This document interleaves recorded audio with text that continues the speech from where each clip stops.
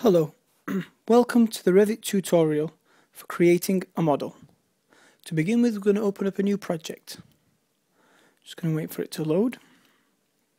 Right, so to construct a model, the first thing we need to do is to create levels.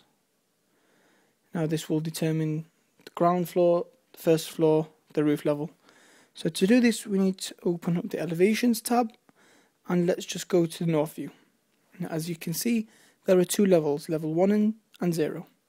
These numbers 400 and 0, they just tell you the height of each level in millimeters. So the first thing we're going to do, just zoom out. Right, now we've got a good view of both levels.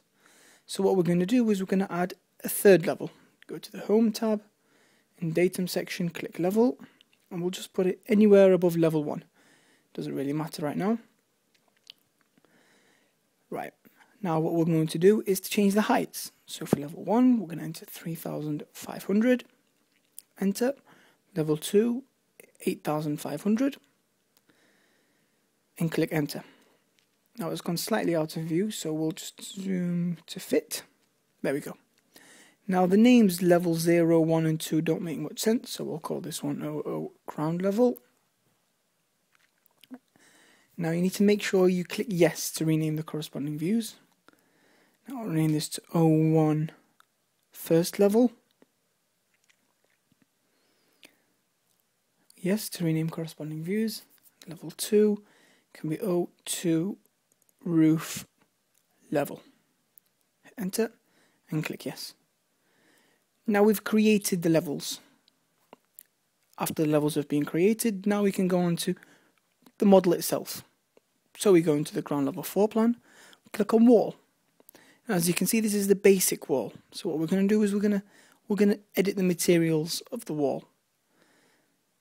To do that, what we're going to do is click Edit Type. In the structure, we're going to click Edit. and we're going to change masonry brick, the finish material. We're going to change that to, we just click these three dots here. To the materials, we'll find concrete cast in situ and click OK. Click OK again. Give it a second and OK again. Right, now we're going to draw out the shape of our building. So if we just uh, start uh, here, right, we'll go 3000, enter, 5000, enter. Now you can of course just move the mouse until you find the desired magnitude. However, we're just going to enter them in quickly in the keyboard. Makes life a lot easier. 5,000, 8,000, and finished the outline there. Now the next thing you need to do is to make sure that the concrete is on the outside, not the inside. So to do that we click on the wall and we want the arrows to be on the outside. So all these walls, all the arrows on the outside, perfect. Now the next thing we need to do is right click this wall, select all instances, visible in view. This will select all the walls. Now in the properties, we'll change the top constraint to first level. Apply. So that's it, we've done the, the walls. Now we need to do the floor. So we click on floor. Now we can use the rectangle tool or the line tool. In this case we'll use the line tool, we'll draw it around outside of the building. You can of course zoom in to get it perfect, but that will do. And we can click the green tick to finish. Perfect. Now the next step is to put the roof on. We're going to have it stepped roof, so we'll click on roof, make sure it says first level and click yes. Now rectangle tool, draw a simple rectangle from the corner to corner and click. Hit escape. Now click on the on the edge of the roof and change the pitch to zero on each side. Zero, pitch zero, pitch zero. Perfect. Now if we click on the green tick to go, that's that roof done. You shouldn't be able to see it, so we'll click on first level. There it is. Bingo. Now we're going to mirror the roof. Do I click on the mirror draw axis icon?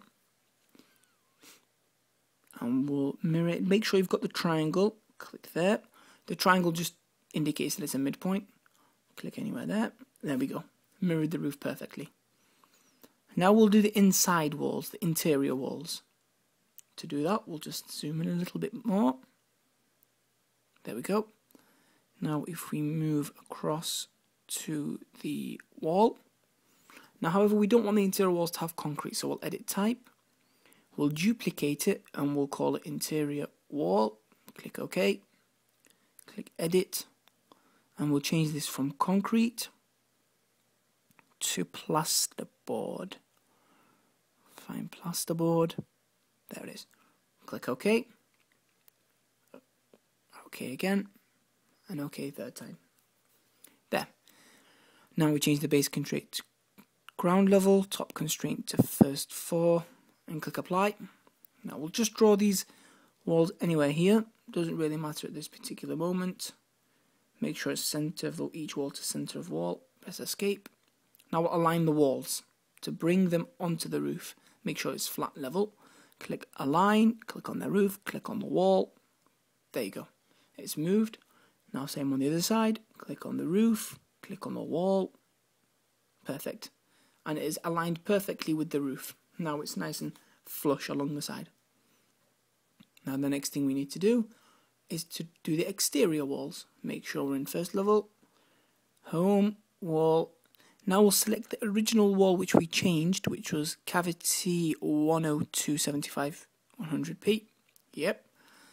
Now we will change the base constraint to first level and the top constraint to unconnected or yes unconnected and we'll change unconnected to 3500 click apply now we will sketch out the exterior walls there we go. Now we're not going to go all the way around because the front wall we want to be a curtain wall. So we'll stop there, hit escape. Now to make make sure all these the arrows on the outside, perfect. Now we're going to bring this wall up to this level by changing the top constraint to roof level. Apply, and there you go. That wall has come right up. Now what we're going to do is to add the roof. Now in order to add the roof, we need to click on the elevation,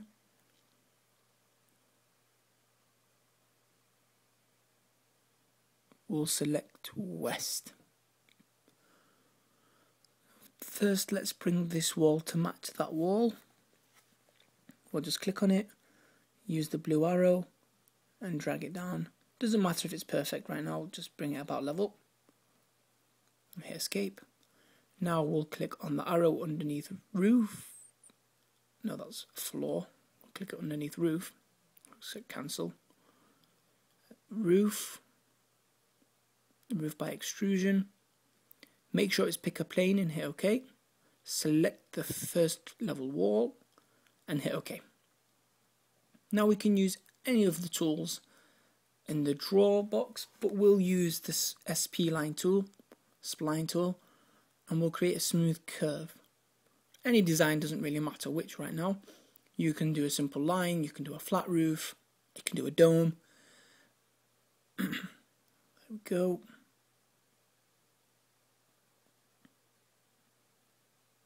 Up.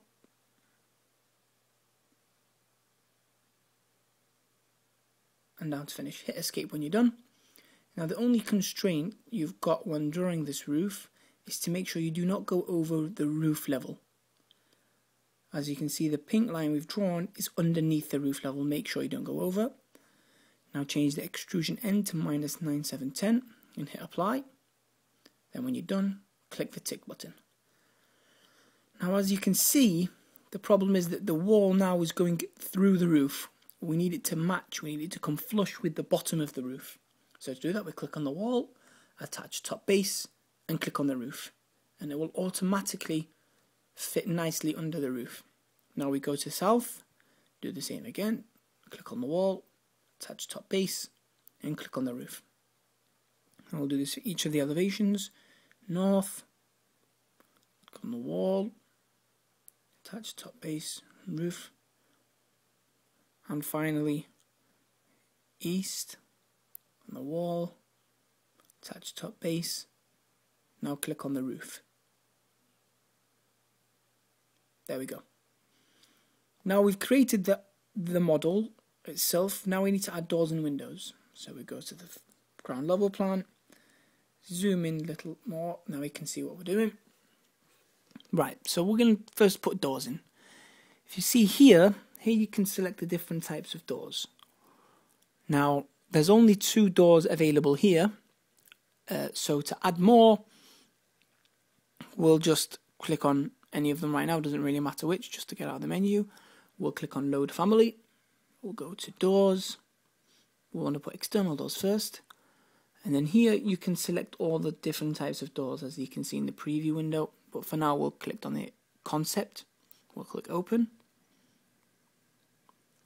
And that immediately, once you give it a second to load, you can put the wall in, the door in. So we can put one here.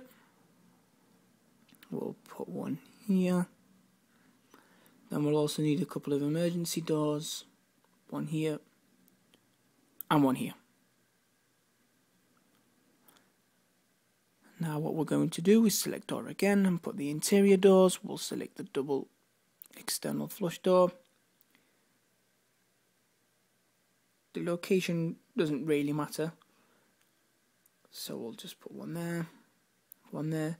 Again, if you didn't want the preset external double flush door, you could of course go into load family and load one up.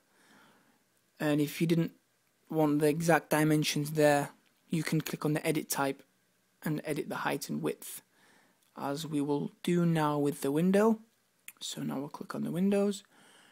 You know, there's only a plain one, so we'll click on edit type.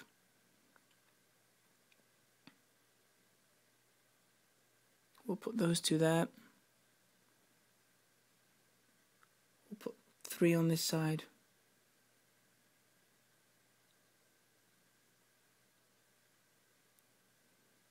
Okay, now I'll click on window change these. Now we'll duplicate it and we'll call this one a large plane window and click OK. Now we'll change the height 1200 seems reasonable.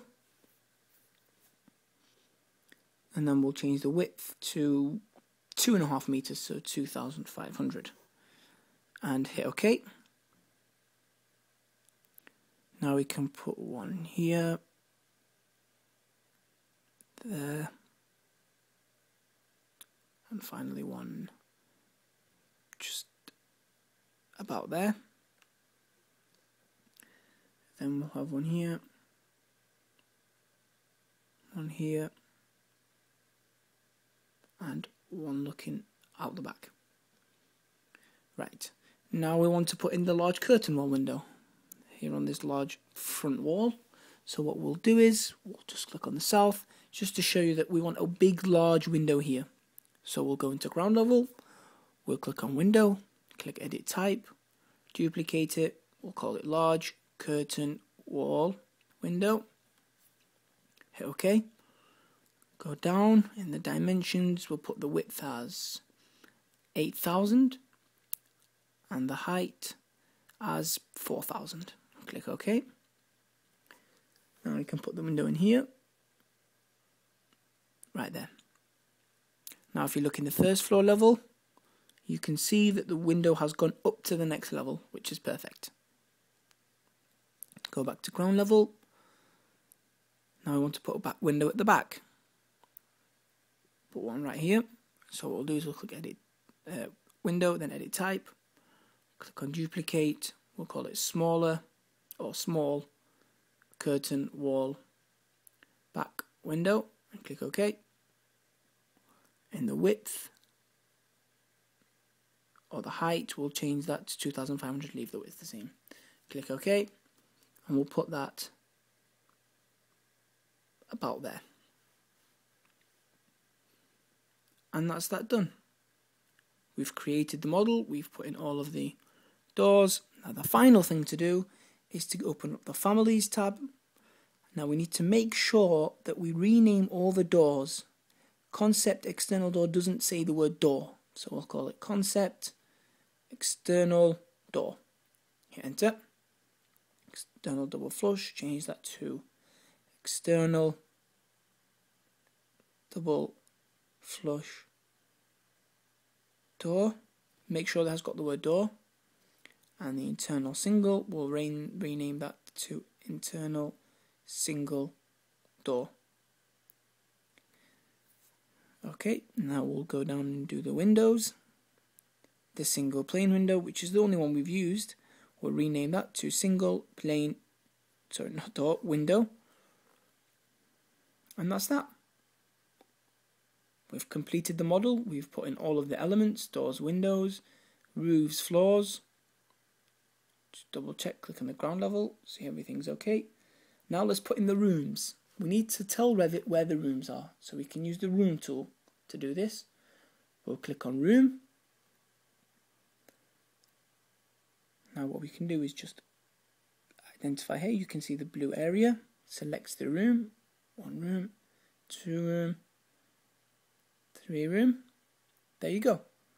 Now, if we type into the keyboard, upon selecting all three, we can go to roof level, hit apply.